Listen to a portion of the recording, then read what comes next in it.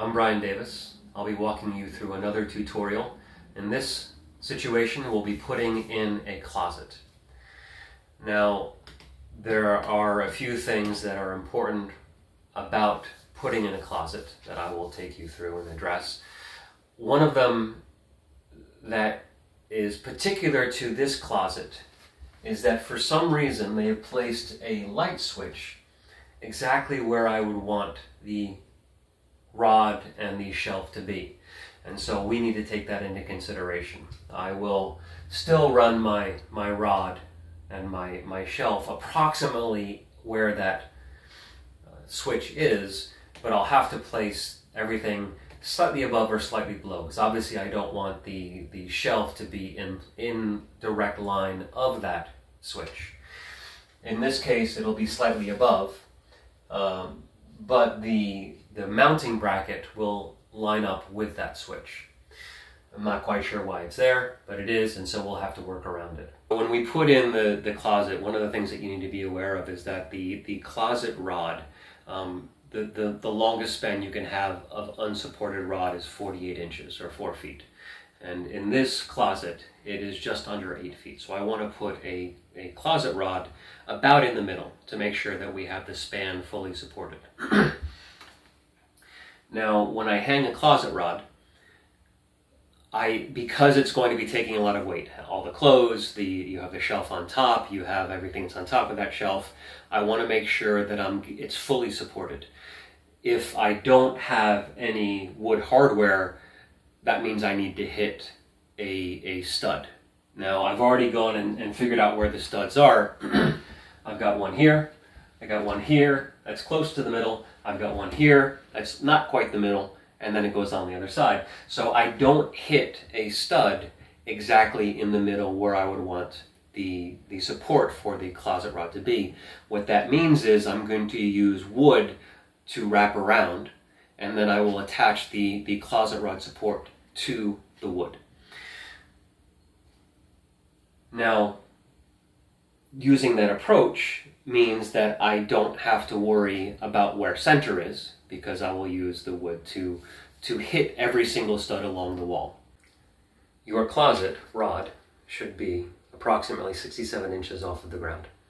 So if we go off of that height, we want the center of the rod to be 67 inches. That means we want the shelf to be two inches higher because the center of the rod to the top of this shelf is two inches.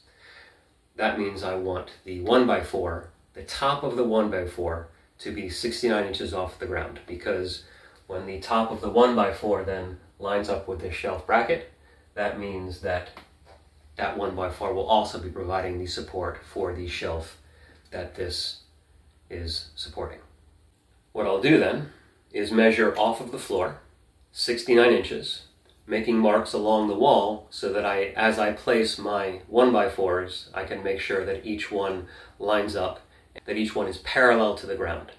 I'm not as interested in level. And the reason why is because I want the shelf to match the lines of the floor the ceiling or the, the, the uh, door frame of the, the closet. And if the house is has shifted over time, then level may not, may not actually reflect it. And the eye will notice the difference between a level closet and a, an unlevel door frame. So therefore, in this situation, I want it to be parallel to the floor and parallel to the door frame. So I've marked along the walls 69 inches and I've marked, marked in multiple places so that I know as I'm lining up the piece of wood that it's going to be 69 all the way across. Wood can be warped, it can be twisted, I can shift as I'm as I'm going, so I want to make sure I make multiple marks and measure or, or mark it along as I go. Sometimes if the wood is very warped, I might need to force the wood to follow the line that I'm looking for. There's one other thing that I'm interested in in marking along this place, and that is the, the wall studs. Because these are the things that I'm going to nail into or to screw into in this situation. And I really want to make sure that I hit the studs so that the, the whole mechanism, the whole system is fully supported. Now, there's lots of different ways of, of finding the stud in the wall. Um, and jokes aside about dating, not looking for those types of studs. But I, I my my go-to method is the tapping on the wall.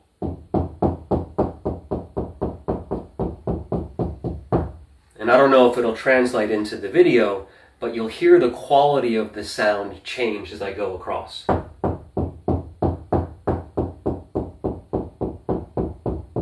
It gets more hollow, it loses that hollowness, and then gets hollow again. So where it loses the hollowness is where the stud is. Now it can be difficult in some walls to find that spot, and there's another little trick I want to point out here.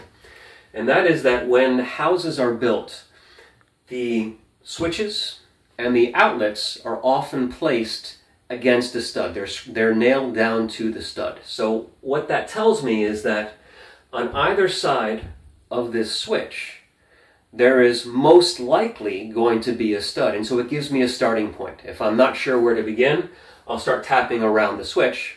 And I hear it change there. And so I know that the stud is to the right of this wall switch. Now, the other standard, or not universal, but fairly common, is that the studs in the walls are 16 inches apart. And so once I find one stud, I can measure 16 inches and I'll hit the center of the next stud. They call it 16 on center, meaning each stud is, the center of the stud is 16 inches away from the previous. The other standard in the US is 24 inches, so another one you want to keep your eye on. And if you have an old house with plaster walls, no amount of tapping is going to help you to find the stud. But for most common construction, that'll help you to locate it. So now I've got marks along the horizontal where I want the everything to line up. I've got long, marks on the vertical of where the studs are so that I know where to put my screws. The last thing I'm going to do before I start mounting the wood to the wall is I'm going to check to ensure that it's going to work, that, I, that I've measured accurately. So I take this piece, line it up, tight into the corner. It comes in close to the switch as I'm hoping, and then I check my vertical line, I'm sorry, my horizontal line, that everything's going to line up. And then I also check my vertical marks where the studs are, that I can still see them, that I'm not covering up with this piece of wood. One of the things I'm noti noticing is that this wood is slightly bowed, it's pulling away from the wall, so I just want to be aware of that as I'm screwing it in, that I'll want to start on one end, work my way over, and make sure that the far end where the bowing is occurring is securing tightly to the wall.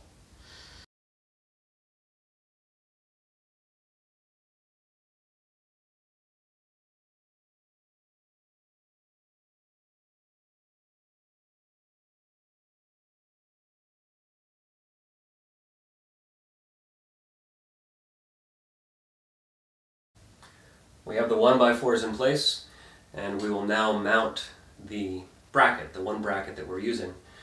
Now this the stud is right in line with those two screws and I centered this so that it's not centered on the screw but I know that no one side has more than 48 inches of closet rod.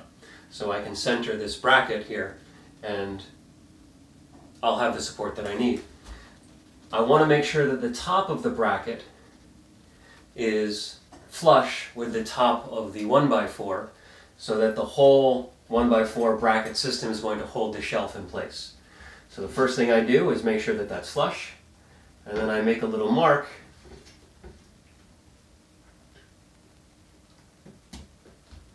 where that first screw is going to go. And then I can screw it in place.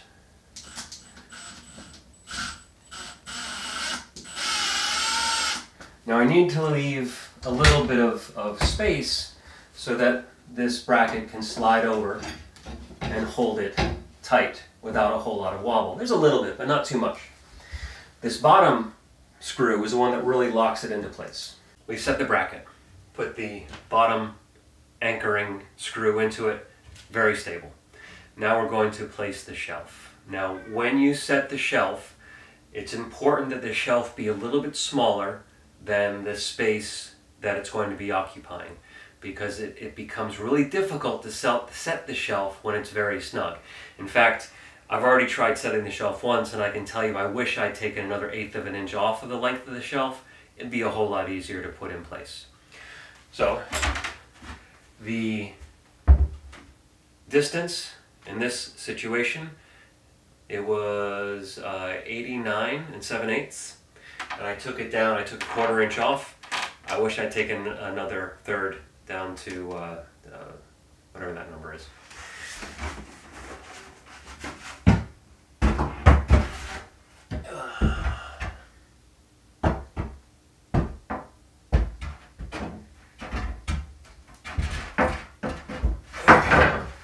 You can see, it takes a little work to set.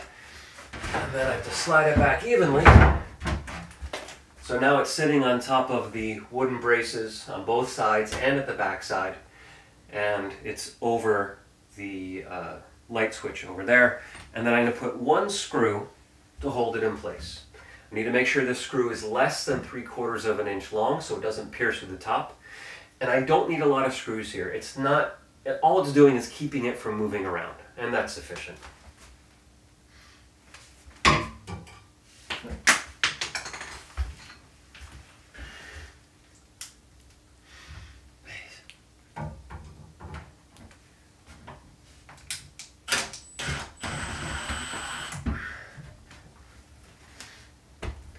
Now we'll use the shelf to help us to set the curtain rod. The rod will sit through this main bracket here and then we'll put the, the attaching cups on either side and the shelf will help us make that happen. This closet rod gets cut even shorter than the shelf. First of all, we need to be able to take off three quarters of an inch for the wooden bracing on either side. And then we also have the thickness of the cups that are going to hold the closet rod on either side and they're an eighth of an inch thick. There's two of them, so that means a total of a quarter of an inch coming off for this, three quarters of an inch either side. That's an inch and three quarters less than the span across the shelves. To verify, I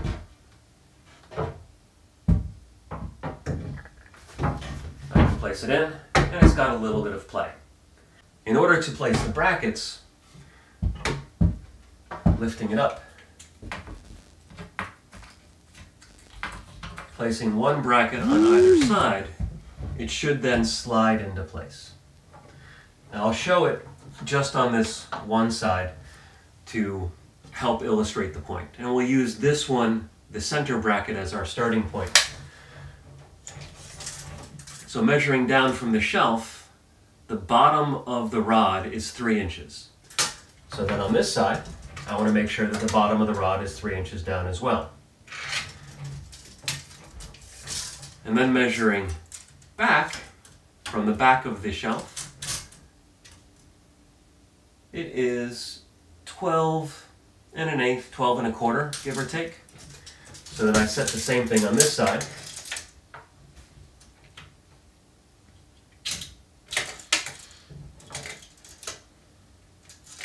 Now you'll see as I'm doing this, it's moving around a little bit in my hand.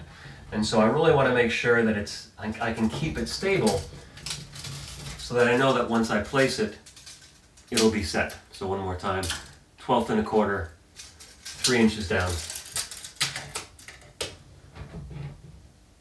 12 and a quarter.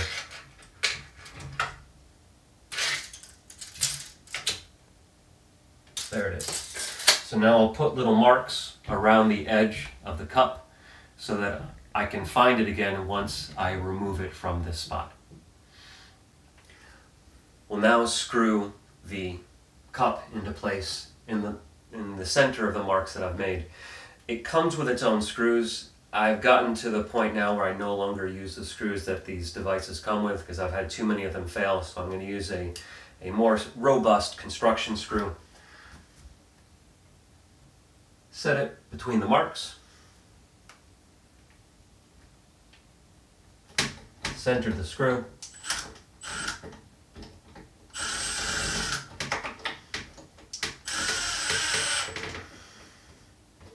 make sure we're still in a good place, and then let set it. And do the same thing on the other side. We'll set the closet rod. I have both end caps secured in place, one of them has an opening at the top. That's the last one to go into place. Set it inside the cup on the end, drop it into the center support, and then into the support on the other side. There is a hole on the back side of the bracket in the middle, so I can secure this into place. It's probably wise to do if you have children around, but once you put clothing on the rod, it's not going to go anyplace. I hope you found this video helpful. Feel free to uh, like the video and subscribe to the video um, if you found it useful. Thank you for watching.